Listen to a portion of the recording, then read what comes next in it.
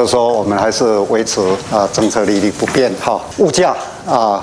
啊，最优先了哈。跟进美国联准会利率维持不变，央行今年最后一场里监事会议再度按兵不动，停止升息，重贴现率停在百分之一点八七五，担保放款融通利率跟短期融通利率维持百分之二点二五跟四点一二五，政策利率已经连三动。八月份、九月份以后啊，刚好就是说连续几个台风。哦，所以让我们的第三季、第四季，特别是第四季的那个 CPI 呢，呃，就高涨了。台风后物价依旧高，要考量通膨状况，央行上修今年 CPI 和核心 CPI，预估明年有望降到百分之二标准值以下。只是明年美国联准会暗示至少降息三次，台湾央行有望跟进吗？也不是说他这样子，那我们就一定要这样子。哦，货币政策调整的方向的那个方式呢不大一样。美国是砰砰砰一直上去，对不对？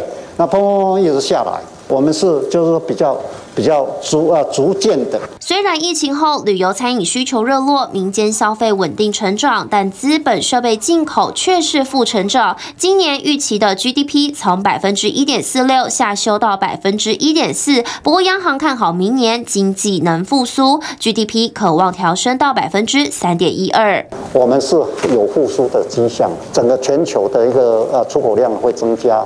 所以我们的出口增加，我们的成呃投资也会，也也会增加。至于房市，虽然房价涨幅趋缓，价格还是居高。央行的房市管制措施维持按兵不动，不加码打炒房，也不考虑退炒，对房市的影响暂时告一段落。TVBS 新闻综合报道。